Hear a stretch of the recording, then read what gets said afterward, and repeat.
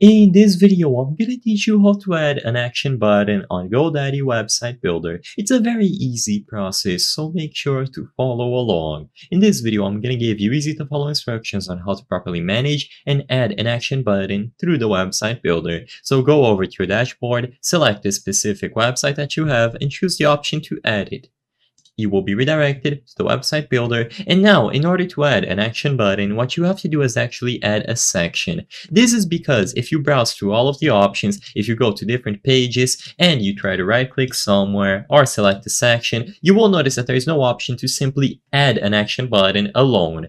As weird as this may seem, the GoDaddy website builder is very limited and they don't actually give users the option to add individual elements such as a button or even a text box. So what you have to do instead is add a section and in here look for button. When you look for button, you will be able to browse through various templates that already include a button. So I recommend that you use this one. This one will add a bunch of buttons back to back to back. Of course, if you don't want to have all of them bunched up like this, don't worry, just go ahead and remove some. So you will be able to remove this text, and now you have a bunch of buttons to work with.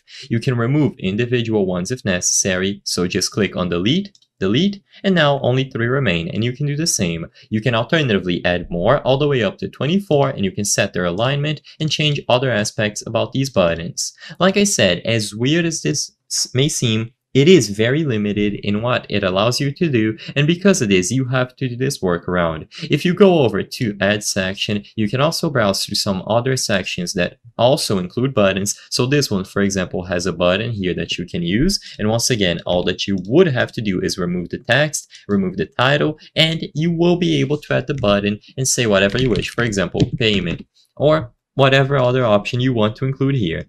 And sadly, we do have to use this workaround because to my knowledge, there is no other way to actually make sure that only the button itself is added. You have to add an entire section that contains the button already.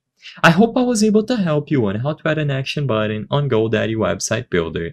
If this video helped you, please be sure to leave a like and subscribe for more very easy tips. Thank you for watching.